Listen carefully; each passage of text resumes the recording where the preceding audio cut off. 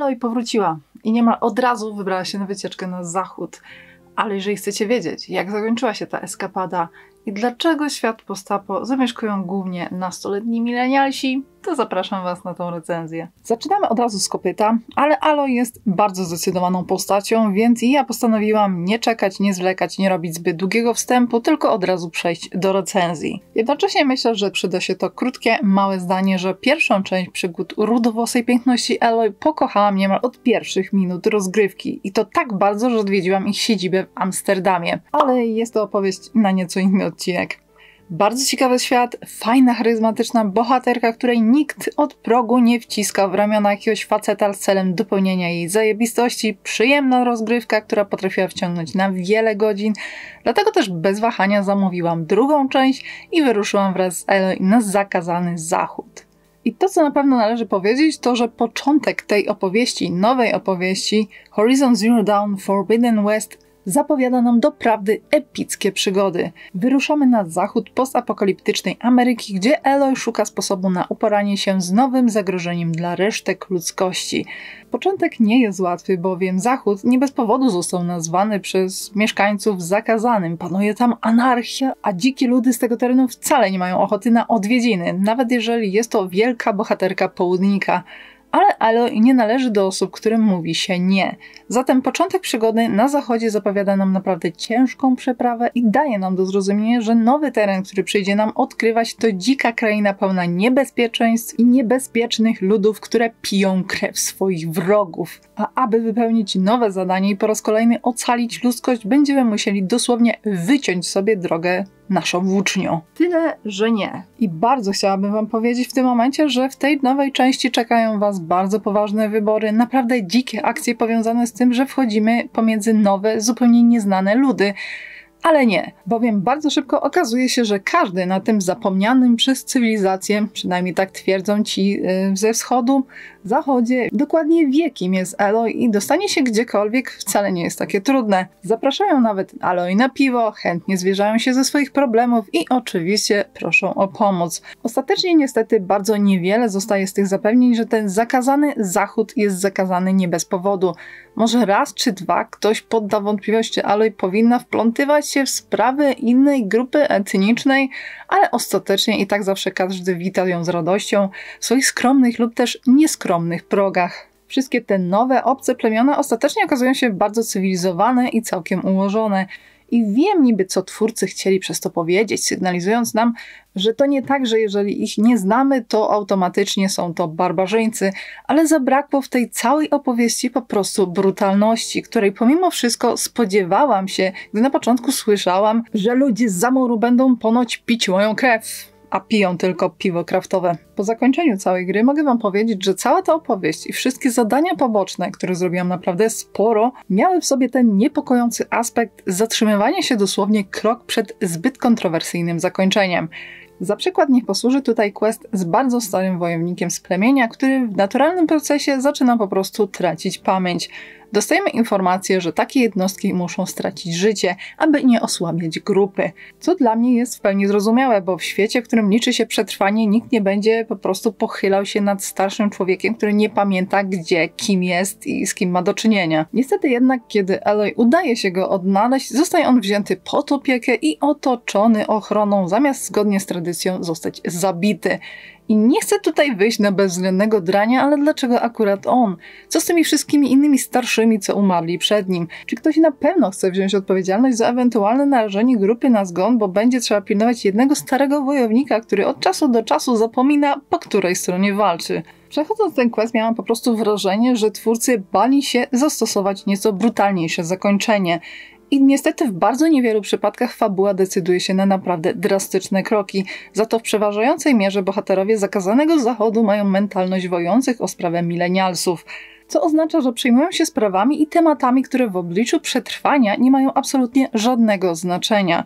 Niektóre postaci występujące w grze zachowują się wręcz jak influencerzy i mało brakowało, żeby pod koniec gry ktoś z mojej grupy dosłownie nie wyciągnął selfie sticka i nie strzelił nam sweet foci. Niestety nawet Eloy stała się ofiarą tego pomysłu na fabułę, bo mam wrażenie, że straciła w tej części trochę pazura i może ze dwa razy protestuje przeciw czemuś, co jej się nie podoba, jednak poza tym dzielnie podąża za tym, co się dzieje i za grupą, która wskazuje jej drogę. Niestety przekłada się to na to, że pod koniec fabuły stawka zupełnie nie jest odczuwalna, a nasi bohaterowie podejmują kilka decyzji, które najlepiej sprawdziłyby się w serii Kucyki, Pony, Przyjaźń to magia, niż w grze w klimacie postapo. Skończyłem grać w Horizon Zero Dawn Forbidden West wczoraj i przeanalizowałam to zakończenie tak już stuzin razy i wciąż nie rozumiem. Ogólnie fabularnie jest tak sobie.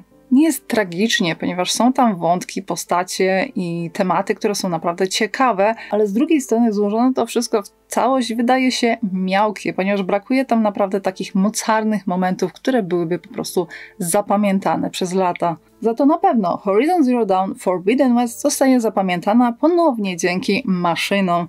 Pomysł na świat z maszynami absolutnie nie stracił na świeżości, a odkrywanie i walka z nimi wciąż jest wielką frajdą. Przyznaję, że niektóre sposoby walki potrafiły mnie zirytować, kiedy przeciwnicy potrafili cię na przykład ustrzelić z wielu kilometrów lub przeskoczyć przez całą arenę, aby mnie powalić, ale ostatecznie walka w Horizonie zawsze dawała mi dużo frajdy i pozwalała się dosłownie wyżyć po ciężkim dniu. Dodatkowym atutem jest fakt, że ciosy i techniki walki są niezwykle zróżnicowane.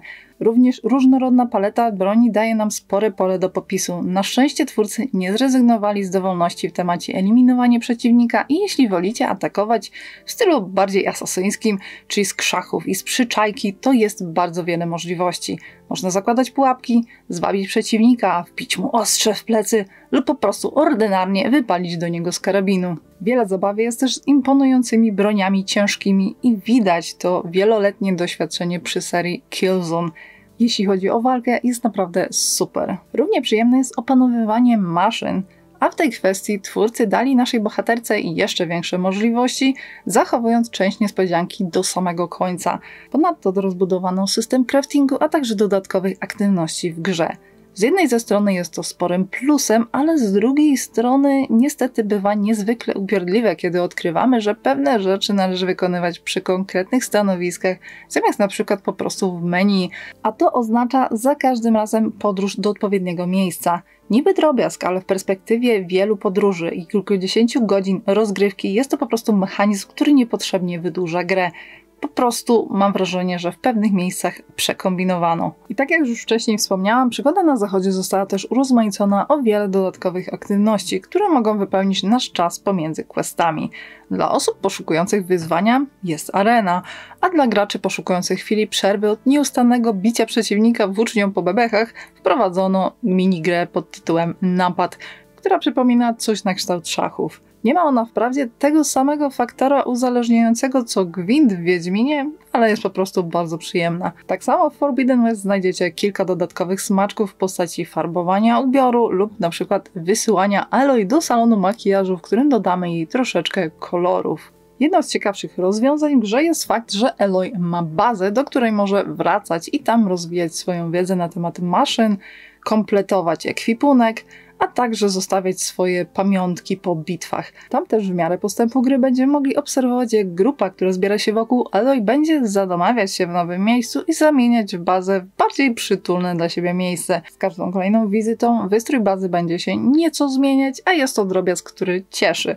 Jednocześnie z bazą łączyły mnie chyba niestety najnudniejsze chwile, jakie spędziłam w grze bowiem w najnowszej części gry mamy wokół siebie bardzo dużo postaci pobocznych, które zbierają się i zbierają w coraz większą kupę. I przyznam się, że osobiście nie jestem za bardzo fanką tego pomysłu. Kolejne postaci dołączają do nas wraz z rozwojem fabuły i mamy okazję z nimi co jakiś czas porozmawiać.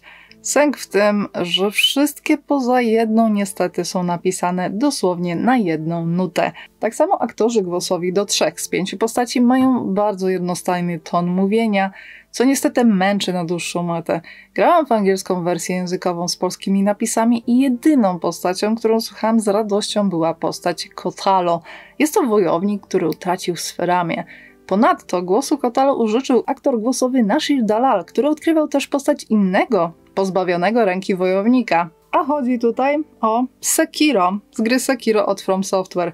I w tym miejscu należą się naprawdę bardzo duże brawa, bo bardzo wyraźnie jest to postać, która wybija się na tle innych, zarówno pod względem charakteru oraz dzięki świetnemu i głębokiemu głosowi aktora. What is this place? Stonecrest was built as an outpost back when the clans were still at war. Its purpose was to guard the entrance to the valley, Niestety poza tą jedną postacią rozmowy z moimi pozostałymi towarzyszami były naprawdę nieangażujące i zupełnie nie czułam z nimi więzi. Każda rozmowa wyglądała trochę jak ten moment, kiedy spotykacie dawno niewidzianego znajomego na ulicy czy też w autobusie i pasuje z nim zamienić tych kilka słów. Tylko, że nie wiecie o czym. Dlatego tak stoicie, coś tam mówicie, ale jednocześnie myślami jesteście zupełnie gdzie indziej.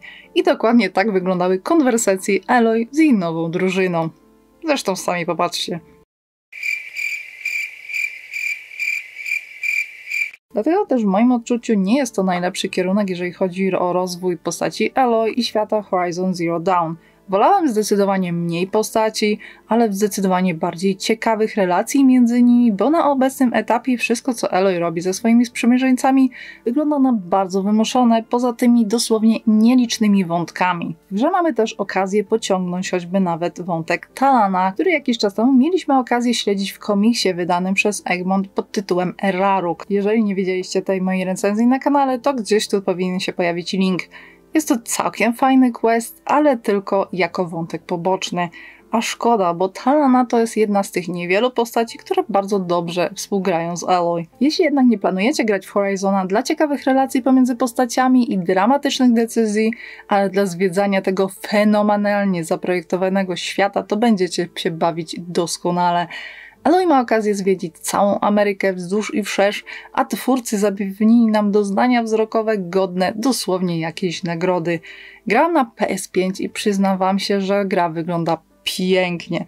Na początku po prostu zdarzało mi się zwyczajnie spacerować po lokacji i oglądać, jak ona wygląda. Zaglądałam za każdy pagórek, wzgórze, rzekę, pole, las, pod każdy listek, aby potem odkryć, że w tym świecie jest jeszcze pustynia i dżungla i wiele innych pięknych miejsc, które w doskonały sposób odtwarzają na pewno znane lokacjom mieszkańcom Ameryki, ale dla mnie to była czysta, czysta przyjemność oglądać, jak ten świat po prostu się prezentuje. I przyznam się Wam, że na początku troszeczkę szukałam wręcz błędów i dziur i miejsc, których mogłabym znaleźć, gdzie tekstury się ze sobą nie łączą albo po prostu wyglądają płasko. Ale przysięgam Wam, że tych miejsc jest naprawdę bardzo mało, biorąc pod uwagę, jak niezwykle otwarty i rozbudowany jest ten świat. Trochę więcej za to znalazłam w tym świecie bugów, które nieustannie są przez twórców poprawiane. Na szczęście w żadnym momencie nie był to problem, który uniemożliwił mi rozgrywkę, ale jednak trochę tych błędów było. Natrafiłam choćby nawet na nieznikające znaczniki, przeciwników wystających z ziemi i strzelających do mnie za tekstury, aż pod całkowite odesłanie w niebyt wielkiej maszkary, która po prostu zniknęła pod teksturą. Był też jeden element, który mnie osobiście bawił i zaznaczam nie był błędem, ale raczej jakimś fragmentem kodu, który po prostu się powtarzał i nazwałam go systemem trójek. Dało się bowiem zauważyć, że gra co jakiś czas generowała postacie lub bestie, które pojawiały się trójkami i niczym w pływaniu synchronicznym doskonale odtwarzali swoje kroki. Oczywiście nie jest to żaden błąd, raczej jakiś element, który zwyczajnie się powtarzał i po prostu mnie rozśmieszył. Poukrywane na mapie w postaci ruin są super. Wykorzystają maksimum umiejętności zdobytych w grze i po prostu bawią. Szkoda, że kończą się po prostu odszukaniem kulki, ale w dalszym etapie gry dowiecie się, do czego one służą i nawet jeżeli będziecie rozczarowani z tego efektu, to polecam je pozbierać, bo za większe questy, których coś zbieramy lub z kimś walczymy, ostatecznie otrzymacie legendarne bronie, a to po prostu jest opłacalne. Horizon Zero Dawn Forbidden West uważam za bardzo dobrą kontynuację. Tyle tylko, że taką kontynuację, która po prostu spróbowała za dużo upchnąć w jednej grze. Jest tam wiele elementów, które po prostu były niepotrzebne i niepotrzebnie wydłużały rozgrywkę i dodatkowo dodawały skomplikowania. Z jednej strony rozumiem, że twórcy chcieli rozbudować tytuł, a z drugiej strony mam wrażenie, że zupełnie niepotrzebnie, ponieważ poprzednia gra już była naprawdę bardzo dobra i wystarczyło ją po prostu troszkę ulepszyć. Za najsilniejszy element Horizon Zero Dawn uznaję oczywiście rozgrywkę, natomiast jeżeli chodzi o fabułę, to też mam wrażenie, że tutaj jeszcze twórcy muszą troszeczkę popracować nad rozbudowaniem postaci Eloy, a nie dodawać jej zupełnie nowe postacie, które tak naprawdę nas za bardzo nie interesują, ponieważ wszyscy wiemy, że gramy w tą grę dla Eloy i dla tych zwierzaków, dziwacznych zwierzaków biegających i strzelających do nas. Jaka jest natomiast Wasza opinia? Czy graliście już Horizon Zero Dawn Forbidden West? Czy mieliście okazję zakończyć grę, czy porzuciliście ją? Co Wam się podoba? Czy zgadzacie się z pewnymi moimi mm, uwagami, czy w ogóle nie zgadzacie się z tą moją recenzją? Chętnie przeczytam Wasze komentarze. Natomiast na dzisiaj ja bardzo dziękuję Wam za oglądanie. Mam nadzieję, że ta recenzja się Wam podobała albo nie podobała. Jeżeli tak, to oczywiście możecie zostawić lajka, suba, dzwoneczka, udostępnić to wideo, a także napisać jakiś fajny komentarz. Tymczasem ja życzę Wam świetnego dnia i zagrajcie sobie dzisiaj jeszcze w coś fajnego. Dzięki raz jeszcze i pa pa! Na zakończenie małe słowo cosplayowe. Jeżeli uwielbiacie kostiumy, bardzo ciekawe kostiumy, to zdecydowanie polecam Wam Horizon Zero Dawn, ponieważ Forbidden West jest wypełniony bardzo fajnymi kostiumami. Mnie osobiście bardzo podobały się te z bambusa, z roślin. Jaki jest Wasz ulubiony? Napiszcie w komentarzach.